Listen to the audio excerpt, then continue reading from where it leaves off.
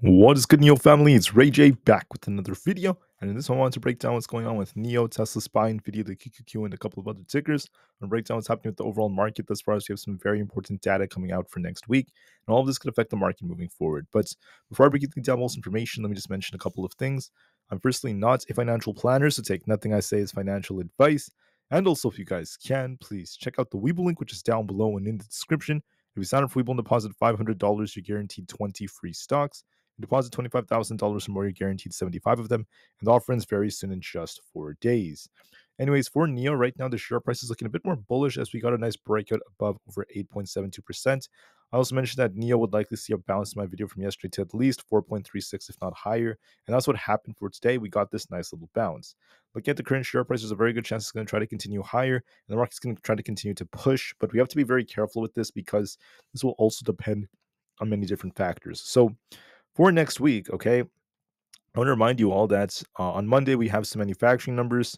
Tuesday we have some uh, employment numbers coming out, but everything's very minor. And then for Wednesday, we have some very important jobs numbers coming out, not to mention the FOMC meeting.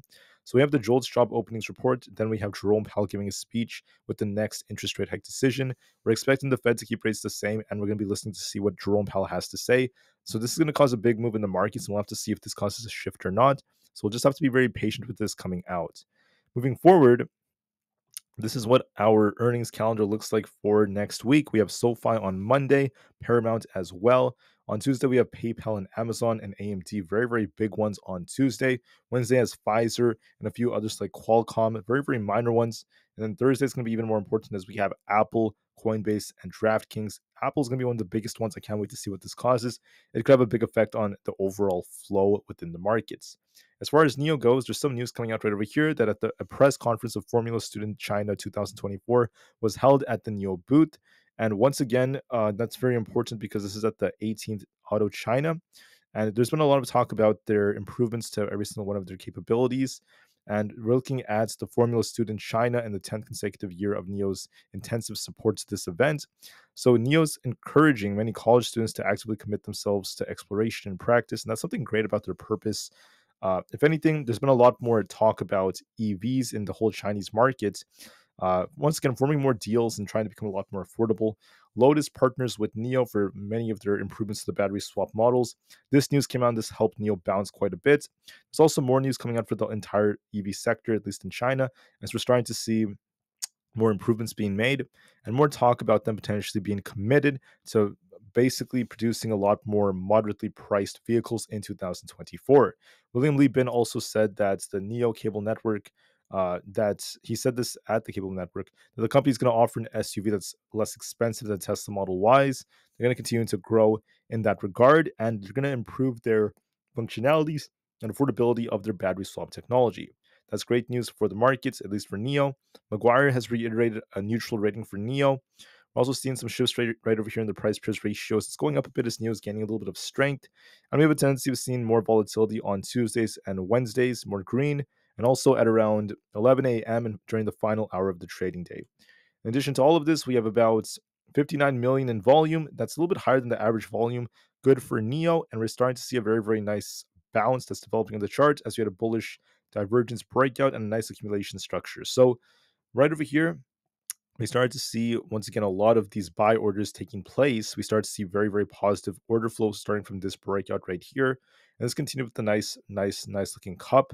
So this ended up forming. I did call this out in my video from yesterday that I expected more upside. I think that NIO has more room to go higher. So we're going to be looking for a retest of 4.4, then a potential breakout to 4.6 at the very least into the 4.6s. Then we could, could continue even higher to 4.8. So it's looking very, very interesting, very good so far. So I see potential in NIO, and I think that this could continue as time progresses. So looking pretty good for NIO. Moving forward for the other tickers out there, I just want to call out that we have Tesla over here. Tesla's trying to push a little bit higher. Uh, we have a nice uptrend that's being established, also forming a potential flag over here. Tesla pushed all the way up to about 174. Got a little rejection here, and we do have potential to go higher. I want to call out that as far as Tesla goes, uh, we're on a very, very nice uptrend, and we could continue to go higher. Uh, but we need to see uh, basically no more very negative pieces of news for this to continue to push. We had some negative news today coming out with the whole probe coming out for the uh, autopilot for Tesla and their latest updates. uh, with that happening, uh, there was some negative news coming out that the autopilot has some uh, issues, and you know there's a possibility that Tesla could dip a bit more because of that. But because we're still within this range right here, we're still holding above 168. We're still holding it very well.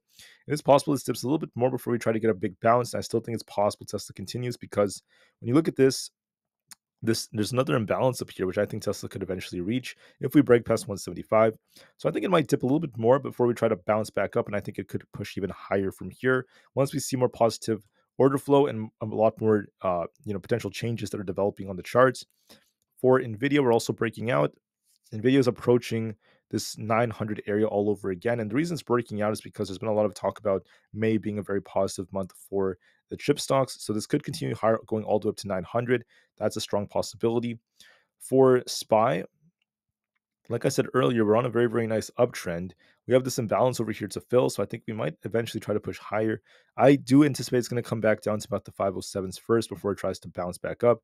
So look for a retest of 507 before it tries to break back up higher to 512 plus. and I still see potential in this. For uh, the QQQ, uh, in my personal opinion, I think that this could drop a bit and retest either 430 or 428, then bounce and start pushing higher. And then we could continue a little bit higher depending on how earnings go. But for now, I'm still seeing potential in this chart. With that being said, that's what I'm seeing for the time being. Apple also has potential if we hold above our 200, 200 EMA. We could push higher towards 172.5. So I'll be watching to see if that ends up being the case. So that being said, guys, uh, that's what I've been seeing on these charts. I'm seeing potential in the markets to push even higher. Um, next week is going to be very uh, important for whether or not this continues. Technicals do look a little bit more bullish heading into next week, but I'm going to be a little concerned about Wednesday because we have Jerome Powell giving a speech, and we'll see if this guy causes a rug pull or not. The best thing to do is just be very, very patient nonetheless. So we'll see how things go. We'll be very, very patient with our trades and such. We'll give the market the time it needs, and we will remain calm, cool, and collected no matter how things go. That being said, thank you all so much for listening. I hope you guys have a very, very blessed day. Please take care and enjoy what the weekend has to offer. It's been a very, very long week with a lot going on. And then next week on May 1st, uh, we have the very important FOMC meeting. So I will see what Jerome Powell has to say, and I'll report what he says as well. It's going to have a big effect on whether or not the market continues this rally. And we'll see how things go. So make sure you guys are prepared for this. Make sure you're calm, cool, and collected. With that being said, I will see you guys very soon.